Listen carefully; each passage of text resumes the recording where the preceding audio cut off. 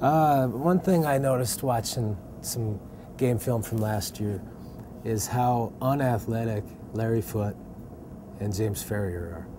And I know Steeler fans love him, and I, I do too. Farrior has been great. Foote, I don't think he's missed a, a game. He's a lunch pail guy. But uh, I'd like to see a little more athleticism inside there.